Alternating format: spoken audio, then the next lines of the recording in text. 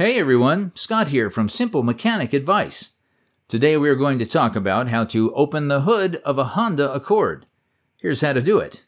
Park the car, ensure you are on level ground, then initiate the parking brake. In doing so, you will park the car. Find the hood release lever.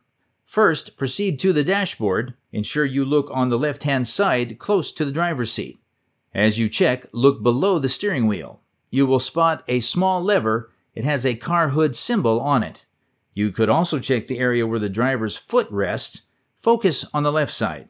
Pull the lever. Upon locating the lever, pull it in your direction to release the latch of the hood.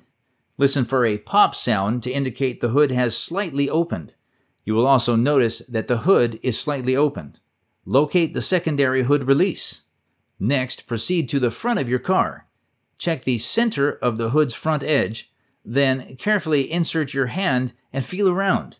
Do this until you feel the secondary latch mechanism. That is the hood latch lever. Upon finding it, push the lever to the side using the inserted hand. At the same time, use the other hand to lift the hood.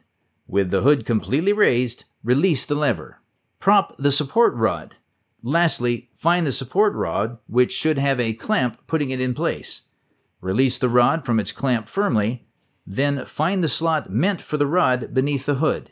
Upon doing that, fit the rod into that slot. Thanks for watching.